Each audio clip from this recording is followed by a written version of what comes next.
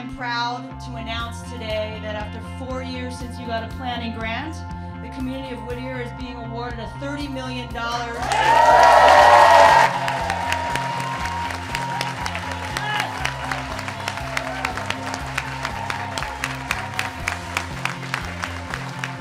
You deserve this.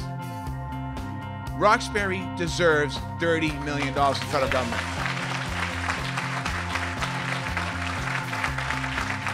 This is this is one of the best announcements I have ever made in my political life. Thank you. People used to tell me that you're wasting your time. But 40 years I continued because I I believed that I could get something done and make that difference.